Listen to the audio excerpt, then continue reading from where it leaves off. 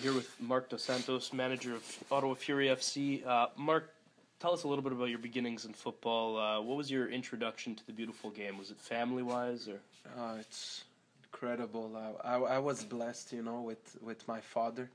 My father was all he played um, not at a very high level, but still he played in the first division back then of Mozambique, where uh, it was an ex-Portuguese colony and um, it was a good league back then, and after he started coaching, when he arrived in Montreal um, back in the 70s, he, he coached Luso of Montreal, where it was probably in, in the years where the, the semi pro league of Quebec was at the top.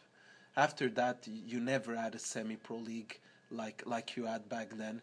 Uh, I remember going to watch Luso of Montreal play three, four thousand people in the McGill in the McGill Stadium, right?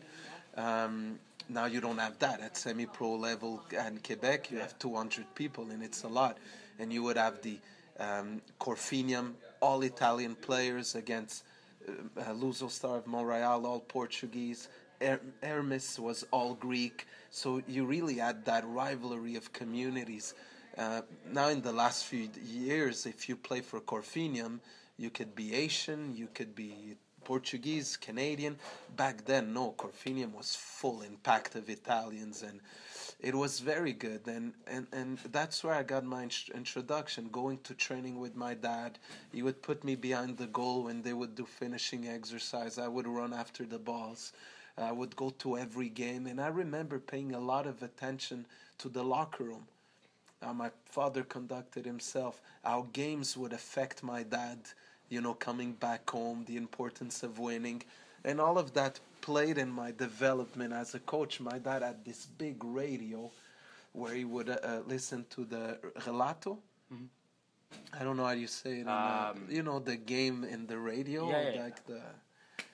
And he and there was this huge antenna to get Porto, and sometimes you can move. A, if you would move to right or left, you would lose the game. So you would really have to find it. And so I'm. I grew up in that environment, and uh, after we moved when I was young to Portugal at the age of nine, I started to play there. Um, I started to get all the culture regarding soccer, and very early I said, "Hey, I want to be a coach." It's funny. I never had the dream of becoming a top player. Never never crossed my mind, hey, me, I want to play in the World Cup.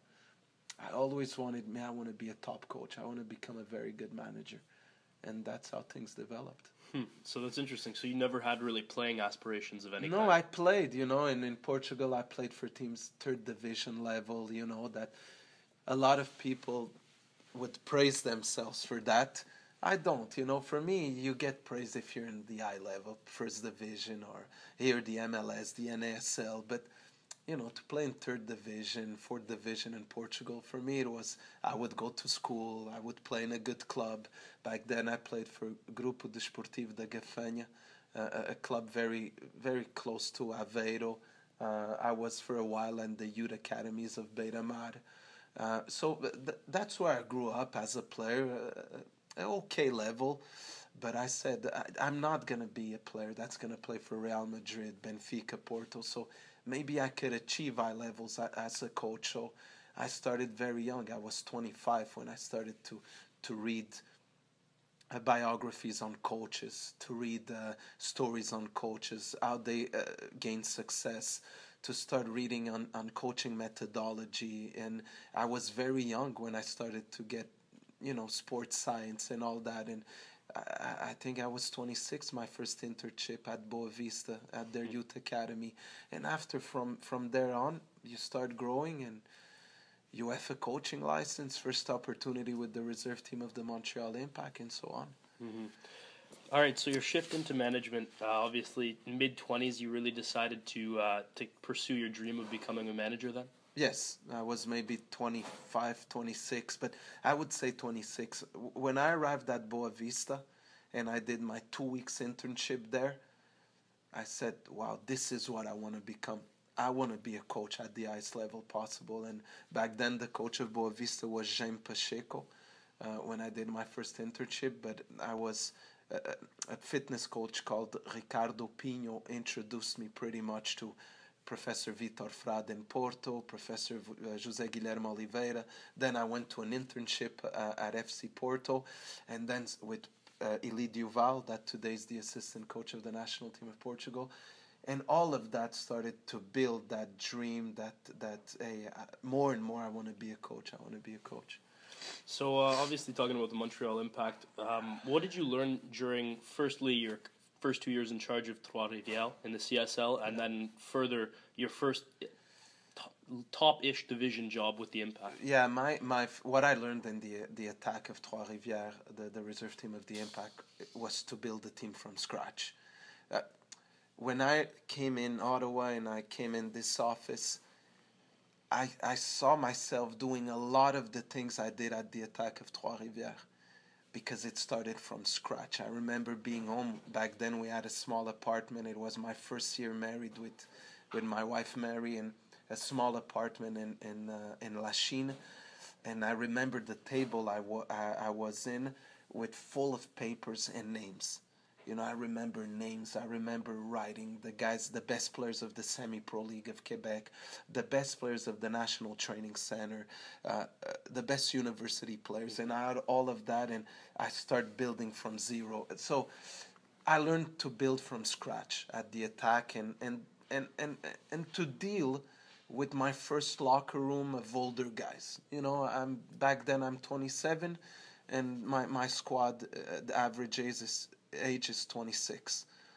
So I'm like their buddies, you know, uh, and I have to deal with how to separate myself. I have to be a manager, and I, I think I, w- I did a fairly good job when it comes to that, because uh, I, I was able to to say, you know, or to show, you know, I'm I'm your age, but I'm I'm the coach, and there's a certain separation and respect. Um, so I learned a lot in that in Montreal, different. I learned how to deal with pressure. I learned how the day to day winning mentality the impact has, the must win at every day. You know, it's you win a championship. It's not. It's we won the championship October 17, 2009, and the 18th. I, I'm already talking with Nick about okay, what's our next move to win next year. Incredible experience uh, to deal with media. I love the media of Montreal but they don't know how much they gave me. They don't have a clue how much they taught me, you know, to deal with different things. So, so, so, so the Attak was phase one. The impact was phase two. That I feel a lot of the passion and intensity I have in my blood comes from the Montreal Impact. So, uh, do you still have ties to your hometown club to this day? Um, good, excellent ones mm-hmm. with Nick, with Adam Braz. We speak on the phone uh, very, very good ones. But three years in Brazil, now two years in Ottawa, slowly you detach, right? It's the first girlfriend, and you you you you leave her, or you know you get your heart broken when you're young, and uh, the first months are tough, but slowly you know you move on, right? Mm-hmm. And I think the Montreal Impact was that, but uh, I could tell you, I, I, I, speak a lot with Nick DeSantis and Adam Braz. We keep an excellent, an excellent uh, communication. So moving on now to your time with Fury FC, obviously putting together a team of basically rejects and free transfers was a bit of a challenge for you. Now that you've put some distance between yourself and the 2014 season, uh, how do you feel about Fury's inaugural campaign? Uh, I wouldn't call it rejects. I, I would just call it, you know, we we went after players that were um, wanted to, that wanted to, to, to come to a project of year one. So you don't get rejects, far from that. But you, when you're year one, you can get guys that are already under contract, and that's what we faced. We faced wow, Stephen deRoux, he would be good in our squad. Yeah, he has a two-year deal with San Antonio oh, uh, we really like Mike Randolph. Yeah, he's in his option year with Atlanta. We faced a lot of that. So after you have to go and say, okay, then who's free? So who's free? This is the list of defenders. This is the list of, of, of midfielders. This is the list of forwards. You understand? So it's it's it's pretty much who was free. Uh, when when I look at it, you have the personal mark that is I'm used to win Uh, we won a lot at the Impact. Um, went to Brazil to to even Primeira Camisa. It was our best um, Copa São Paulo campaign in the club's history. I go to Palmeiras, we're Brazilian Cup champions. Uh, their last, uh, it's their last national title as a club. Um, go to Desportivo Brasil with a very young team, qualified to the last 16 of the Copa São Paulo. So it's success, success, success when it comes to that. And after you come to Ottawa and you finish 8 out of 10 and you're a little bit hard on yourself, but when you take, like you said, some space and you, you, look at building from scratch, building a, a, a culture, that took a lot of it to, to it was faster to build a, a, an identity like you guys speak about our team and you know how we're gonna play you know what our wingers are our roles are. You know it, if i play two forwards in a game you guys are all gonna be surprised. So you know there's a huge identity playing wise to the club that has grown uh, in the year. What took more time to build wasn't the playing identity was the culture in the locker room. Why? Because they all come with different cultures they had coaches that had a dress code on thursdays. They had a coach that didn't allow to play cards in the airport. They had a coach that you had to drink one liter of water and whatever whatever thing comes so much culture. And now you're saying this is the culture of the ottawa fury. That took time. And not the end of the season we added and going into this season we know it's it's there you know? That was difficult. But when you take space and you say look you build from scratch. You you you you were in Carleton for a lot of months. Transition to td place. Getting so many things you don't know about organized because it's new you know?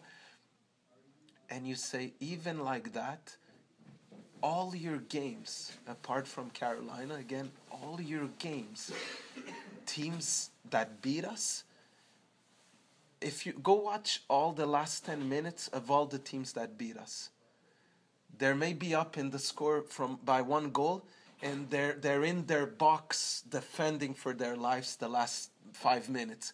It's because every game we played we were extremely extremely competitive and I see it very positive uh, moving forward. How much had the second division of North American soccer changed in the years you were away in Brazil? Incredibly, incredibly. It's crazy. It's. I was talking with Nick DeSantis months ago, and I said, Nick, it's not the same. It, it improved a lot. You know, back then you didn't have uh, like we had the Montreal Impacts, Vancouver Whitecaps, Portland Timbers, Seattle Sounders, all at a good level, but none as at the level of we want to promote to to even to a marketing uh, place.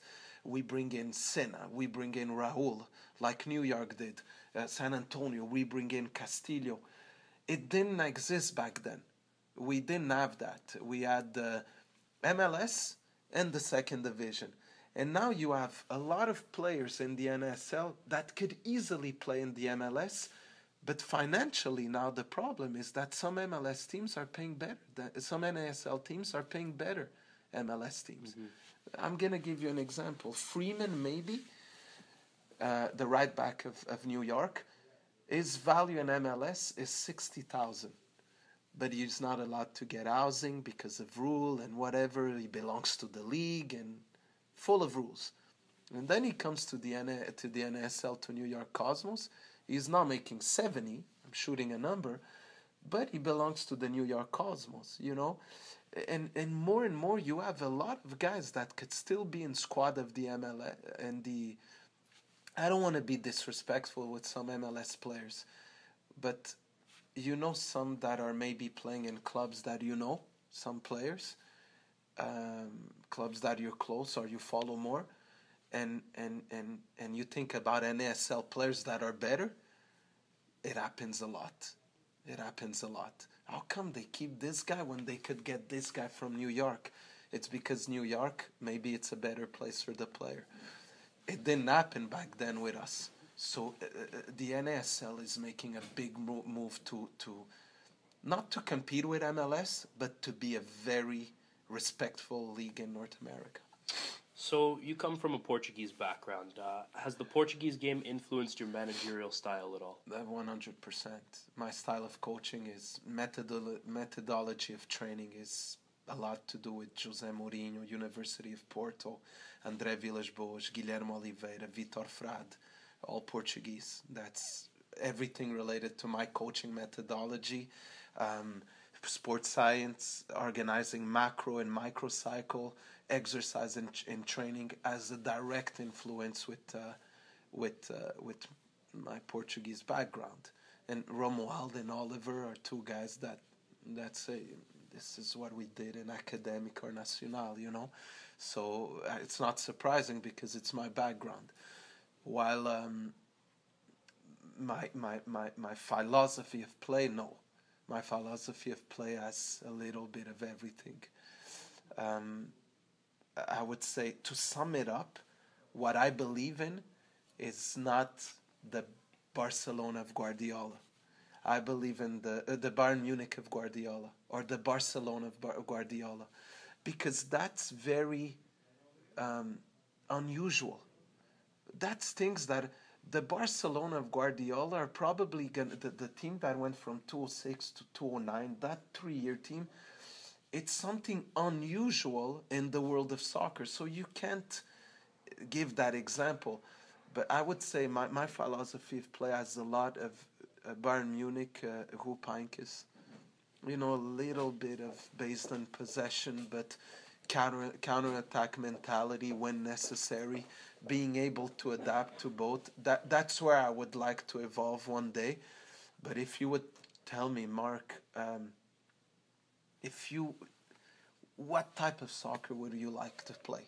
Like if you could choose any that your team every day would be that. Me, it's uh, Bielsa, Chile of Bielsa, one hundred percent. Okay. Um, the Portuguese league is known as a breeding ground for player development. Um, technically sound players, uh, and that's really despite a lack of funding infrastructure. Do you think it's fair to compare what you and your coaching staff at Fury FC are trying to do to the Primeira Liga, and that you're trying to compete with teams that maybe are on a bigger budget by you know making up for that with technically and tactically sound players? I think that what gave us success a lot of times last year was because tactically we were extremely organized and the guys embraced our idea of play. Because it's not enough for the coach to believe in something and if players don't believe. But I'll give you an example of tactically our game in Fort Lauderdale that we tied 1 1. The last game was incredible for a team that has nothing to play for in the last game we would probably win the game if Mauro doesn't get sent off in a game that was under control. Um, you, the, the game we played in Minnesota, we lost to one, but tactically, I think it was impressive. We had a lot of moments that we had a team that that was very organized tactically, and we have very good and talented talented players in the squad. But when you compete against team that maybe financially have resources to go after the players they want the only way you compete with that is to being to be organized on the field. Uh, if we weren't organized two disorganized teams what wins is talent. Two disorganized teams what wins is the, the team that makes a difference and but thank god for costa rica in the world cup. Thank god for greece when they won the euro in portugal because they showed uh, in that level that talent is important, but a level of organization in the field could give you a chance of winning, and that's that's what we believe in and what we stick to it here. So last season, you said repeatedly that you wanted to help develop players for the national team. Um, yet Benito Floro seems to be pretty uh, ignorant in a way of the NASL. Have you abandoned the goal of trying to become a feeder for the Canadian national team? I, my, I, I said it. I already answered that in another interview. My intentions when I arrived in Ottawa were a lot to help, you know, in the Canadian program. I'm, I'm not to lie, but you can't do it alone as a club. You know, maybe I wanted to push something that is done in Germany, that the Federation of, uh, in the Germany said, Bundesliga team, Bundesliga 1 and 2, these are the amount of Germans you're going to have in your squad. These are the amount of Germans that have to play. And maybe I wanted to do that alone. But if you feel that you're doing it and, and you're not really supported, there's not a plan behind, you question, but why do we do it? Why do we do it? And after you question, but wait, wait a minute, am I here? in the Ottawa Fury, but who pays my salary is the CSA. No, it's not that. So I have to give the best product to my fans. I have to give the best products to the Ottawa Fury fans. If the Ottawa Fury fans are they gonna be happy to win with all Canadians? Yes, they will. But you guys are gonna be also happy if we win two nothing and Wiedemann scored both. We win two nothing and Paulo scored both. You, the fans are gonna be equal happy at the end of the day, you know. So I started to pretty much focus more on, you know, let me be concerned on the Ottawa Fury being the best team possible in the the team, and if the best players from Pakistan, China, Indonesia, Canada, well, you know, we'll we'll figure that out after. So. You've been around the beautiful game for quite some time and have been influenced by many different coaches, teams, and styles. Um, how close would you say you are right now let's say at the end of 2014 with the Fury team to your ideal style of play? Uh, I'm thinking about players I have in the squad. I'm one, two. Um,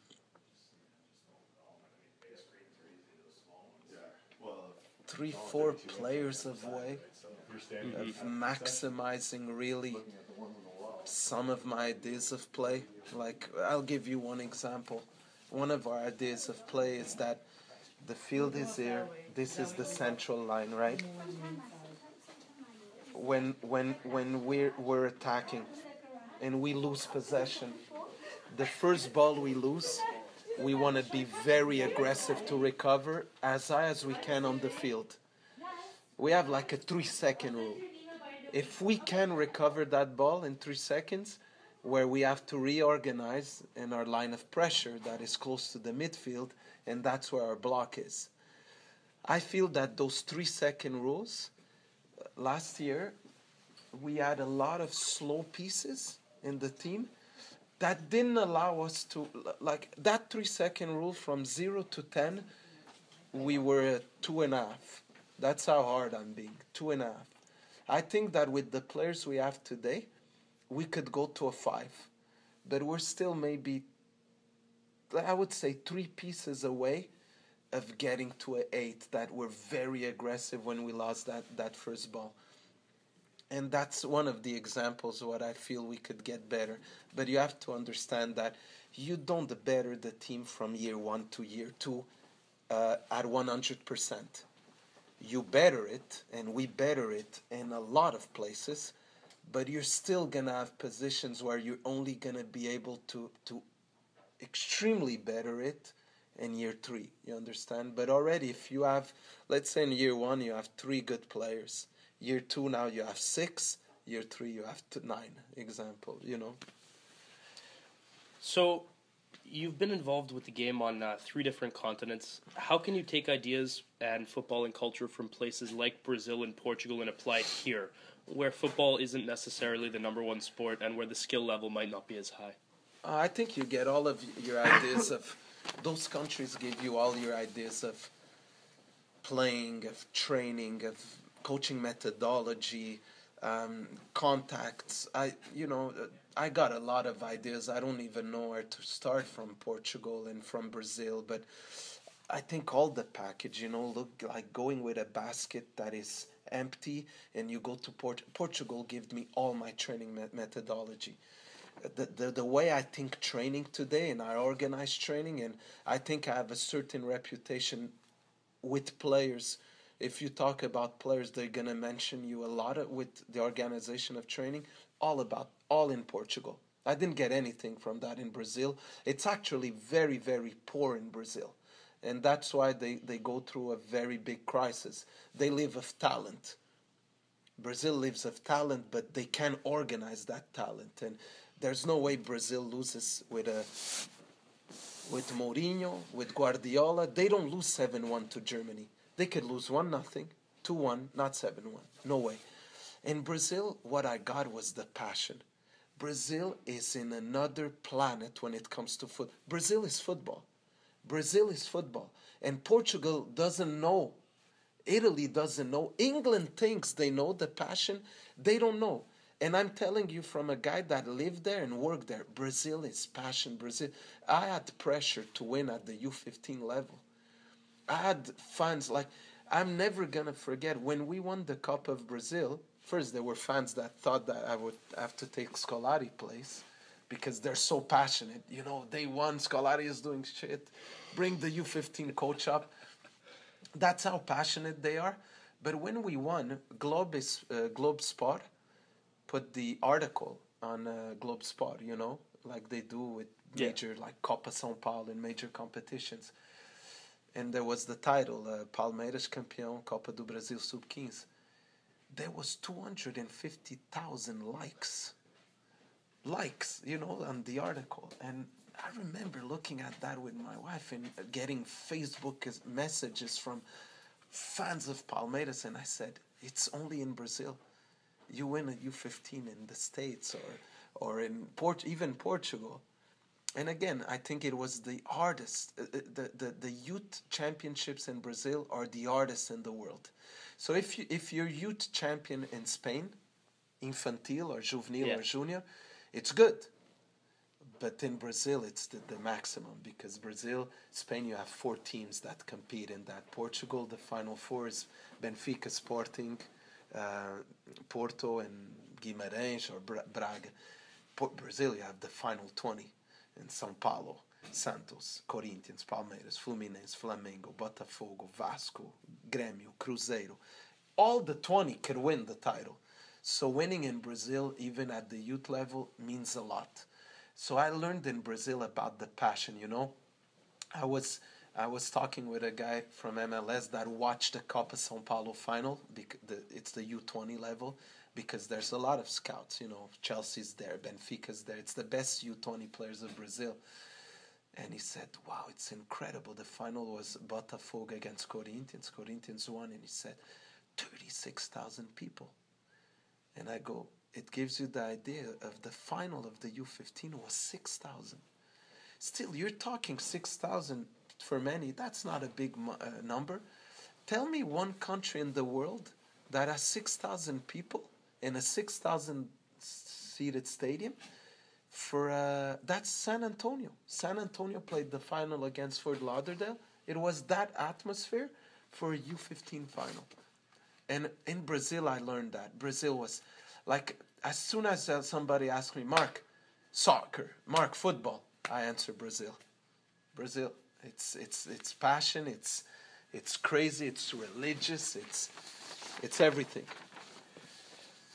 So, question about you know international football now. How far away do you think we are from seeing a North American, most likely American World Cup champion? American World Cup. So champion? so a U.S. U.S. winning the World Cup. How far away from that are we? Oh. I don't know if they're ever going to be a U.S. champion. Is it the culture, do you think? 100%. It's only about culture. Um, Paulo is there, right? And he's been training hard and all that. I went to see him downstairs because some guys are training. I go, you enjoyed everything is going well. Yeah, Becky's taking care of me, and you know, guys are great. I'm very happy. But coach, what? I go, feijão, no feijão and you understood and uh, yeah you're in canada you know it's tough culture you can't take culture away from somebody. It's always to be a, a, it's your uh, roots. And so it's tough to build it. It's tough to teach a kid to hey when you get a little knock maybe you could fall and you're gonna win the foul that gives you. They say, oh, you cheat, it's not fair play. North America is still, I get pushed in the box, but I'm gonna try to stand and shoot even with no angle. What what's the difference in that? When it's 0-0 against Costa Rica or Mexico, the Mexican at the 89th, is gonna know how to win a foul. When Mexicans are up in the score and they walk to go get the ball and that's all cultural. You're gonna tell me it's unfair, it's not it's not right. No, it's it's the game, it's culture. And it's tough to teach culture. Mexicans, Brazilians, Argentinians, Costa Ricans, they learn it by watching so many games on TV. Look, we have a player a, a problem in North America. and that's something, you know, you can't really take away, but some of our guys have that. You know, you the, we end the game away and we're back in the plane, and there's the NFL, and uh, they play fantasy football, right, between each other, and they have fun. It's okay to uh, like another sport. That's the difference there. The Mexican, there's no fantasy football. The Mexican, it's fantasy La Liga, you know, fantasy this. They're always, always in soccer. So the moments that are key, the moments that are key it's gonna show. It's gonna show that they're gonna win the foul. They're gonna win that free kick. They want to win that PK. They're gonna have that uh, um, creativity moment because their life is is that. Well, the other one, fantasy football, might not understand it. So maybe I'm wrong. I think the World Cups are always going to be for. You could ask the same question to Finland. How far are we to have uh, Finland winning the, the Olympic gold medal in hockey or Norway to win. They might tell you never. I, I don't know. Maybe I'm wrong. Uh, U.S. reaching the U.S. the the semifinal, yes. U.S. reaching the quarterfinals, yes. U.S. being incredibly competitive, yes. But in that key moment, in that key moment, I think that the South Americans, the Europeans are gonna yeah, and I think of an example of that when Canada was playing Colombia and James Rodriguez took that quick free kick. No Canadians in that's, front of the ball. I, I mentioned that. That's 100% cultural. And I, I was talking, it's good you said that with staff and all that. I said, if it was Canada, oh, this is a good free kick. Set up, let the opponent set up the wall. But at the end, you're going to say, oh, we only lost 1 nothing from against Colombia, but we lost and we lost because of two kids, James and Quintero, that did that in the street. That's how they played it. They did that free kick like they were in the street. And at the end of the day, that's culture. So, uh, you're a fairly religious man coming from a Portuguese, I'm assuming, Catholic background. Uh, uh-huh. Uh, do you believe that spirituality can play a key role in a team's success?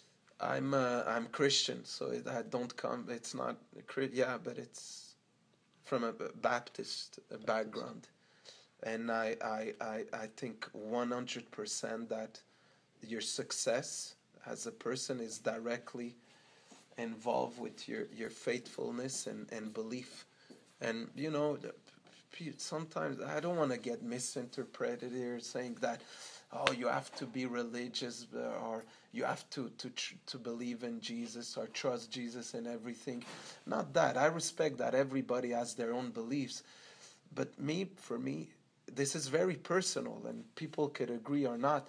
The Bible at, are my roots. The Bible are my roots of uh, of the way I live and conduct myself. And I'm far from being perfect. And that's why I thank God for the word because it, it, it it helps me on my all of my not perfect ways, you know.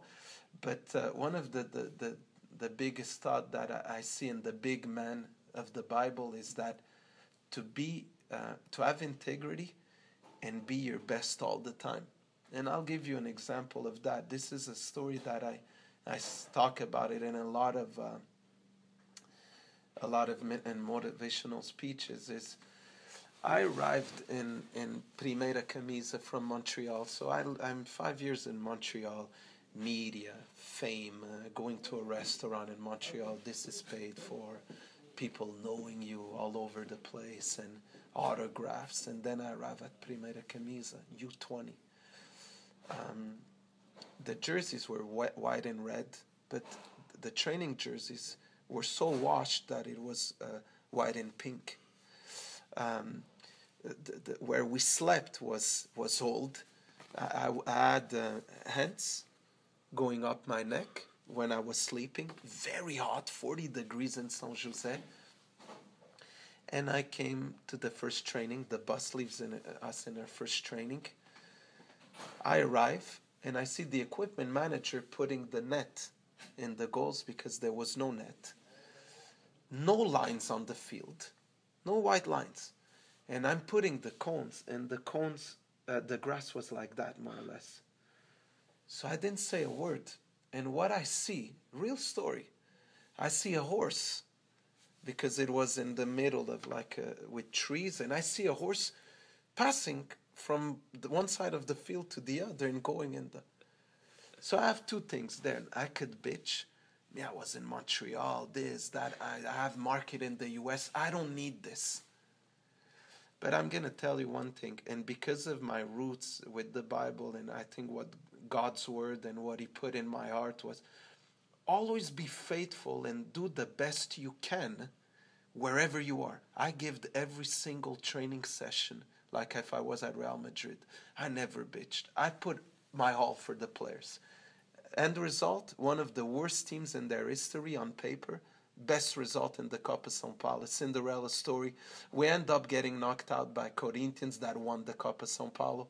Center back of Corinthians was Marquinhos in 2000. So it was a different level. But the thing here is, when we won the Copa of, São, uh, Cup of Brazil in PKs, I cried. And the, the, the last PK, Souza, kid called Souza took it, center back.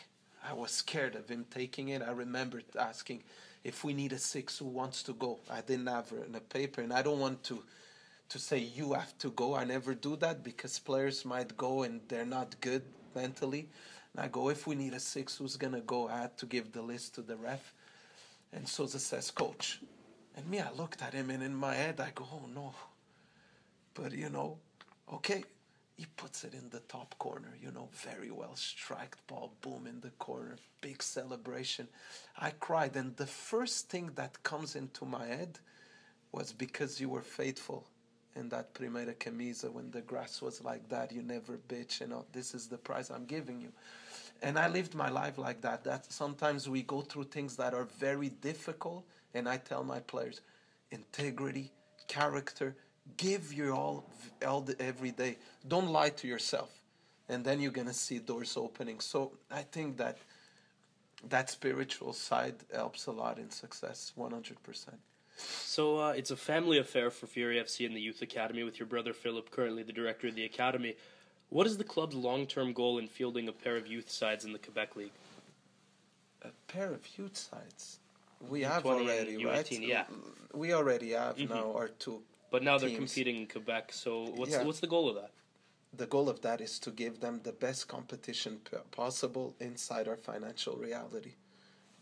We could have played on in Ontario, but eighty percent of the games are in Toronto. Uh, it's all okay. Phil, first of all, we hired Phil, and I said it a lot of. Th- Phil is the best one we could get in Canada for for this job, by far it's not even about being my brother. It's by far, the most competent person to do this job. And afterwards, we said, now we have these kids, we're going to focus on giving these two groups the highest level of competition possible, training five times a week in a great environment. And um, where can we play? Where can it be the most day in, day out, the best competition? And Quebec opened us that door. And that's an incredible move also from Ontario allowing that and Quebec allowing that because it benefits not Ontario. We have to stop with benefiting the old guy, 80 years old, that is in war at Quebec against Ontario and politics in Canada that are incredible. What's the best for the player? And today, the best for the player, in our case, is he's going to play against uh, Laker, Lakeshore. He's going to play against Longueuil. He's going to play against uh, Blainville. Every year, every day, playing against the best players in that side, competing at the best level. Three players are going to move to the first team, always to train with the first team. We're trying to make this with the resources that we have the best place to be for, for a player in, in Ottawa. And so you talk about, you know, acting and working within your financial restraints How key do you think it is, and how soon do you think it'll be before we start seeing academy players in the first team? I'm, uh, you know, it's expensive housing for us. So bringing players uh, from outside all the time, it's not fun. You understand? We we need local guys, one hundred percent. Like look at San Antonio. How lucky they are that uh, Castillo's son is uh, is studying in San Antonio. So he decided to show up at the club hey, you know, I, I, was one of the best players in the first division of Colombia. My kid is here. You know, maybe I could play here. You know, how lucky are you that you're in a market because of Mexico and Texas, whatever. You need to develop this somehow. And uh, to answer your question is how long? I, w- I wish tomorrow we have a player from, from our academy. So i don't know the years it's going to take. I'm telling you that with the resources we have we're already doing you should take your your your your stuff and go to our academy to see uh, how well they're working. You you, you should do a work in our academy. Um drastically changed.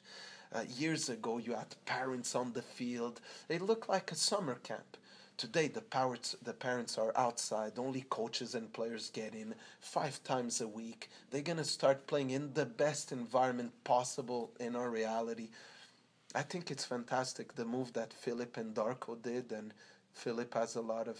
He's not praised enough for what he does in the club. And so, lastly, we'll go away from the pitch. Outside of football, what do you enjoy? Family, food, hobbies, etc. Wine. I enjoy wine. wine. Me and my wife were were very. I enjoy Mary. Mary's my life. Uh, my wife has has been so incredibly supportive and I'm gonna write a biography one day. I know I will, and I want to write it for um, for for young coaches that start and have aspirations. It's a dream of mine, you know, and how important it is for any young coach to choose the right partner. Or you're single to do this job, or you have the right partner. My wife always has the luggage ready and if we have to move to Dubai, let's go. Oh, we have an offer in Ethiopia. Let's go. You're the national team of Ethiopia coach. Who gives? I'm with you. And you know, twins and so many wives today. No, no, the twins are in. I have twins and a daughter, so we have a gang when we move. You know, we move as, as like the Gremlins. You know, when they got out as at the of the pool. You know. All of them.